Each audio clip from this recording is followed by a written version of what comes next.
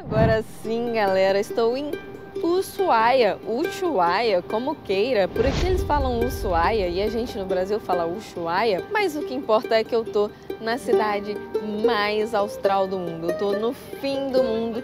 Ushuaia é a cidade mais ao sul do mundo. Ela se encontra entre a majestosa Cordilheira dos Andes e as águas geladas do Canal Beagle. Carinhosamente chamada de fim do mundo, essa localidade pitoresca tem uma paisagem espetacular e um charme peculiar que compõem a incrível região da Patagônia. Rodeada por picos imponentes e uma costa recortada, Ushuaia oferece aos visitantes uma experiência única. Durante os meses de inverno, atrai entusiastas de esportes de neve para suas encostas. Já no verão, com os dias mais longos, o ponto alto são as trilhas e lagos com paisagens fascinantes. Esse local costuma ser relacionado a El Calafate, conhecida como a Terra dos Glaciares, que foi o meu destino anterior e você pode conferir todos os detalhes nos episódios anteriores do canal. A distância de El Calafate a Ushuaia é percorrida em aproximadamente uma hora e meia de voo. Mas antes da gente embarcar neste passeio, eu queria te fazer uma perguntinha. Você já está inscrito aqui no canal? Se ainda não está inscrito, é só clicar em inscrever-se aqui embaixo para receber vários conteúdos como este, com guias de viagem, sem pagar nada por isso.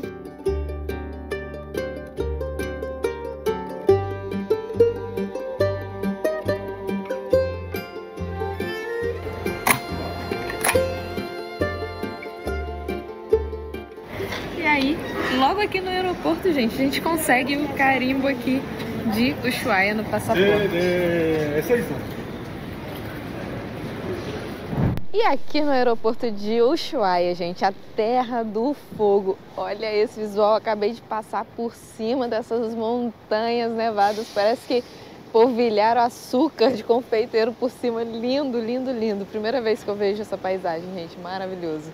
E eu fiz a mesma coisa que eu fiz lá em El Calafate, inclusive se você não assistiu o meu vídeo de El Calafate, vou li deixar linkado aqui nos cards acima.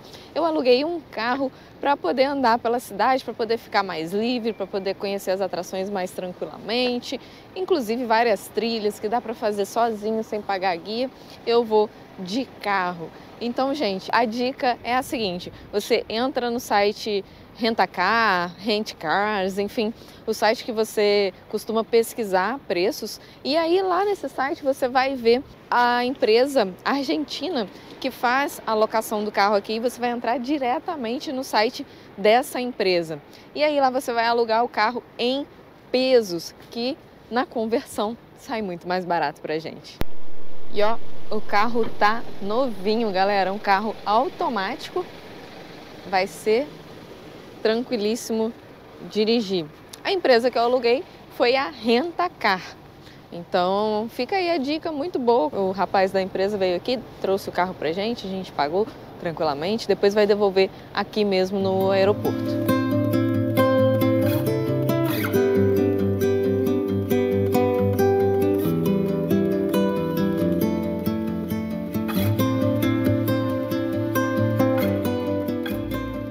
E aqui em Ushuaia eu tô parando aqui no Carrefour para fazer o câmbio do dinheiro na Western Union. Na verdade eu já fiz o depósito lá no Brasil e tô vindo retirar aqui em Ushuaia. Tirei em El Calafate, gente. Se você não viu meu vídeo, assiste lá também, porque eu dei várias dicas de quanto mandar na Western Union para o Brasil, enviar dinheiro e tudo mais. E aqui em Ushuaia a gente vai retirar aqui nessa agência dentro do Carrefour. Viemos almoçar aqui no restaurante Quar.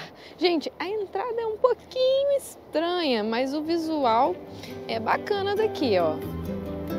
Ó, de frente pro lago. Muito lindo. Vamos lá. O Quar Restobar está em uma localização especial, praticamente dentro do mar e com uma vista deslumbrante para as montanhas da Patagônia e o icônico Canal Beagle. O cardápio possui excelentes opções de frutos do mar, mas também contempla outras variedades. Eu pedi um menu degustação que inclui os melhores pratos tradicionais e vinho para acompanhar.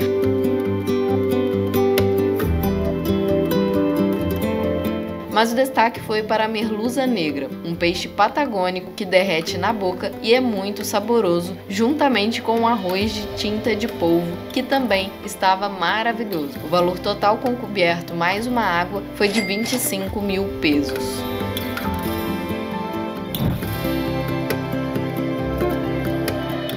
Na verdade, na verdade, falando a realidade, Ushuaia não é a cidade mais austral do planeta. A cidade mais austral do mundo é uma vilazinha, uma pequena cidade que fica do outro lado, só que é muito pequenininha, então não é considerado porque Ushuaia, na verdade, é uma grande cidade, é a grande cidade mais austral que a gente tem no mundo. Então sim, eu tô no fim do mundo e já tô aqui na placa de Ushuaia Fim do Mundo. Essa placa fica bem aqui no porto, pertinho de várias cabines de turismo onde você pode comprar os passeios e fica bem em frente ao porto, exatamente onde saem os passeios também, gente.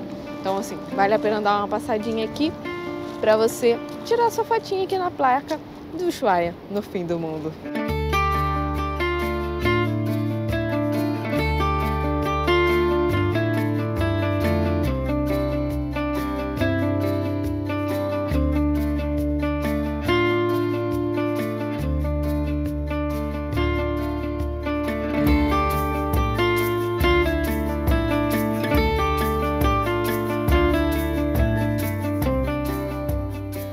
Galera, na verdade, o canal Beagle, que é esse grande canal que está aqui do meu lado, ele divide a Argentina do Chile. Então, do lado de cá, a gente tem a Argentina e do lado de lá já é o Chile. Então, a gente está bem na fronteira.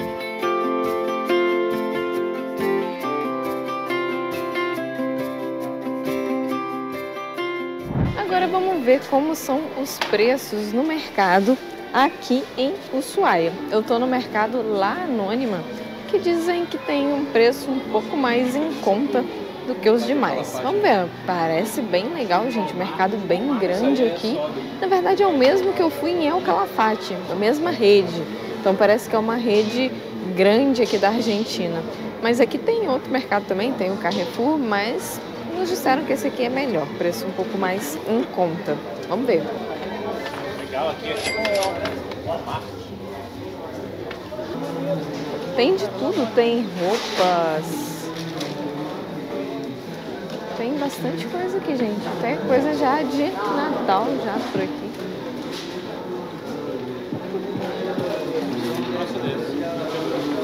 Olha, eletrodoméstico. Não é. Aqui a parte de frutas, né? Pera, uvas, maçãs, variedades, mangas, kiwi, nozes. O vinho caixa com 6 unidades, 735 pesos, ou com 12 unidades, 1.215 pesos. Aqui a gente tem o queijo mussarela 889 pesos. Tem esse outro queijo aqui, Dambo, 815 pesos. A água aqui, ó, da Nestlé, 153,75 pesos. Vamos ver a quantidade de sódio aqui. Sódio, 55 miligramas por litro. Tem bastante sódio. Vamos ver outra. Essa aqui, sei lá. Sódio 35. Bonaco. Sódio.